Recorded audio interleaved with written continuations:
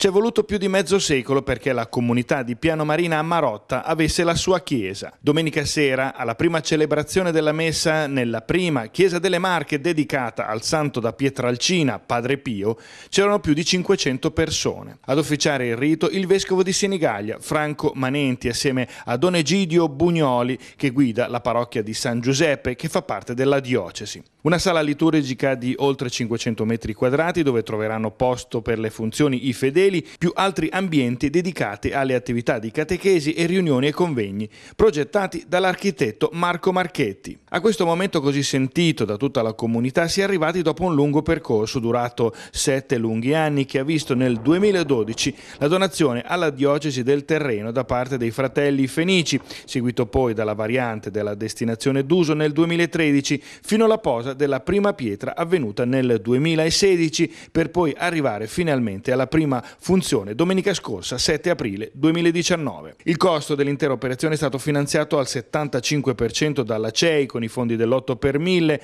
al resto hanno pensato i contributi dei fedeli con offerte medio-piccole anche di 5 euro fino anche ad arrivare al pensionato devoto che ha donato buona parte dei suoi risparmi contribuendo così a donare un momento importante ed emozionante per la comunità che ha atteso questo istante fin dal 1964, come ha sottolineato un orgoglioso primo cittadino Nicola Barbieri nella cerimonia inaugurale. Questo luogo rappresenta non solo un punto di culto, ma anche di coesione e di aggregazione sociale.